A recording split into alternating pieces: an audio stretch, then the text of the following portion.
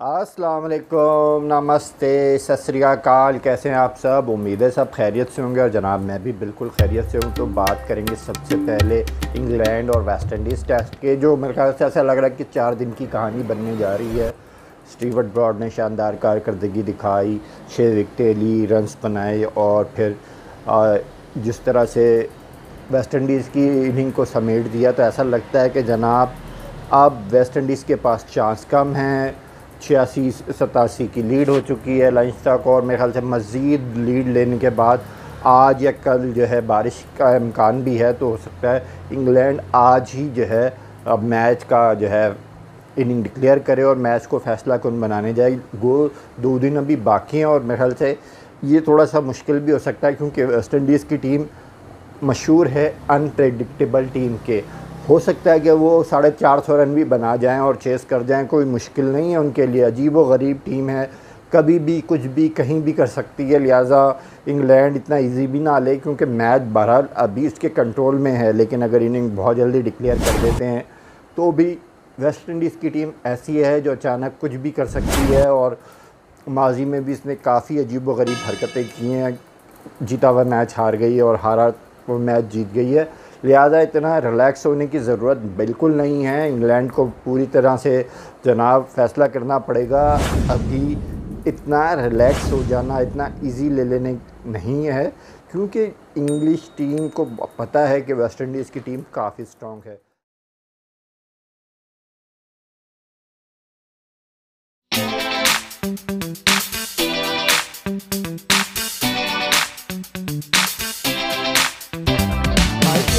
जनाब, बहुत कुछ हो गया। आईपीएल का शेड्यूल जारी हो गया। पहला मैच चेन्नई सुपर किंग और मुंबई इंडियन के दरमियान होने जा रहा है और वो आठ बजे होगा। पाकिस्तान के मुताबिक साढ़े सात बजे का टाइम होगा। तो बहुत बेहतरीन बात हो गई है आईपीएल की। गो, अभी ऑफिशियली तो बिल्कुल अनाउंस नहीं हुआ। हुकूमत की तरफ़ से इजाज़त नहीं मिली। लेकिन ब्रजेश पटेल कह रहे हैं कि रस्मी कार्रवाई है और बहुत जल्दी इसका भी फैसला हो जाएगा। इंग्लैंड और वेस्ट इंडीज़ की सीरीज़ की तरह जो है इंग्लैंड और ऑस्ट्रेलिया की सीरीज़ भी आईपीएल के राह में रोड अटका सकती है और वो ये है कि जनाब, कई खिलाड़ी जो हैं वो शायद शुरू के मैचेस ना खेल सके, जिसमें स्टीव स्मिथ हैं, डेविड वार्नर हैं, पैट कमिंस हैं।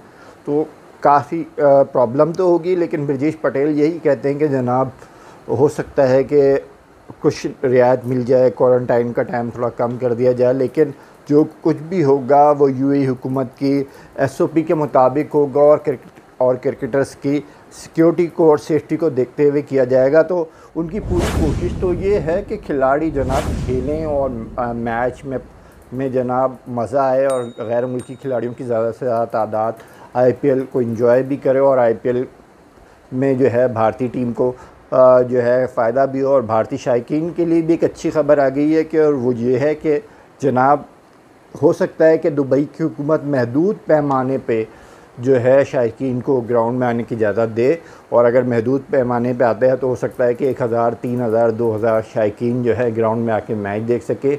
लेकिन ये सब अभी इब्तदाई सूरत हाल है। दुबई की हुकूमत चाहती है कि तमाशाई ग्राउंड में आएँ और ये बी सी सी आई भी चाहती है, लेकिन तमाम तर जो बात है वो खिलाड़ियों की सिक्योरिटी पर है, अगर खिलाड़ियों की सिक्योरिटी तो कोई मसला नहीं होता तो बिल्कुल तमाशाइयों के साथ भी आईपीएल हो सकती है। फिर आईपीएल में जनाब आईपीएल शुरू होने जा रही है तो विराट कोहली और रोहित शर्मा में भी गर्मा गर्मी शुरू हो गई है। और क्योंकि रॉयल चैलेंजर बेंगलोर को काफ़ी जो है रेट किया जा रहा है, अब्रॉड हॉक ने तो ये तक कह दिया कि इस दफ़ा रॉयल चैलेंजर बेंगलोर जो है, और टाइटल ले उड़ेगी। लेकिन रोहित शर्मा कह रहे हैं कि वो जो है आकाशवाणियों पे और दीगर वानियों पे यकीन नहीं रखते मैदान में जो है उनकी टीम मुंबई इंडियन अपने टाइटल का दिफा भी करेगी और जो भी सामने हरीफ आया चाहे वो धोनी की, चेन्नई सुपर किंग हो या विराट कोहली की बेंगलोर हो तो बुरी तरीके से उड़ा के रख देंगे और कोई समझे नहीं कि इस दफ़ा और जो है वो जीत सकता है, क्योंकि ये टाइटल मुंबई इंडियंस का है और मुंबई इंडियंस के पास ही रहेगा। विराट ने भी इसका जवाब दिया और वो कहते हैं कि जनाब, माजी में जो हुआ, वो माजी का किस्सा बन गया। बेंगलोर की टीम बहुत स्ट्रांग हो चुकी है और बेंगलोर जो है, Mumbai Indian Chennai super king की बोलती बंद कर देगा और तगड़ा मुकाबला होगा। अब ये देखते हैं कि कौन किसकी बोलती बंद करता है, कौन तगड़ा मुकाबला करता है। यही आईपीएल का मज़ा है और यही है, वैसे सारे दोस्त होते हैं और दोस्ती यारी की बातें चलती हैं, लेकिन जनाब, दोस्ती यारी में जब मामला मुकाबले का हो जाता है तो फिर एक दूसरे के, की टांगें भी खींची जाती हैं और ये सिलसिला शुरू हो गया और दिलचस्प सिलसिला है, चलता रहता है और खिलाड़ियों में इस तरह की बातें होती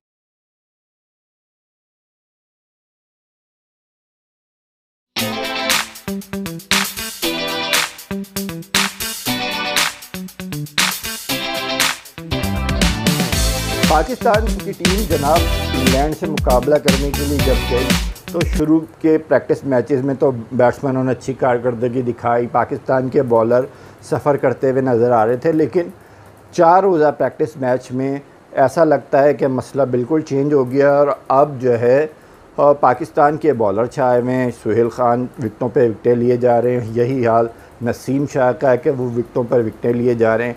लेकिन पाकिस्तानी बैट्समैन दूसरे प्रैक्टिस मैच में पहले 113 रन पे आउट हो गए और 113 रन पे पाकिस्तान ग्रीन की वो टीम आउट हुई, जिसमें अज़हर अली भी थे बाबर आज़म भी थे आबिद अली भी थे शान मसूद भी थे और टॉप और बुरी तरह फ्लॉप हुआ और सुहेल ख़ान ने उसको, उसका भरकस निकाल दिया। जवाब में जनाब जब वाइट्स की टीम आई तो वाइट्स की टीम की बैटिंग कुछ बेहतर रही, लेकिन अमलन टीम वाइट्स की बैटिंग भी वही जो है टारगेट के मुताबिक नहीं रही और ये एक बहुत बड़ा मसला है कि पाकिस्तान के बैट्समैन इंग्लैंड में रन्स बनाना भूल गए और अगर इसी तरह का सिलसिला रहा और वो इंग्लैंड में रन नहीं बनाते तो ये यकीनन पाकिस्तान के लिए मसला होगा, क्योंकि इंग्लैंड में वही टीम जीत सकती है जो 300 प्लस रन बना सके।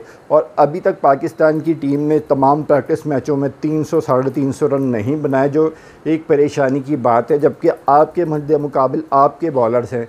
अब जब इंग्लिश बॉलर होंगे जो इस वक्त पूरी तरह फॉर्म में स्टीवर्ट ब्रॉड फॉर्म में हैं जेम्स एंडरसन फॉर्म में हैं जाफरा आर्चर रिदम में हैं वॉक्स फॉर्म में हैं तो करंट फॉर्म में हैं तो जब इतने स्ट्रॉन्ग फास्ट बॉलिंग अटैक से आपका मुकाबला होगा, जब क्या होगा?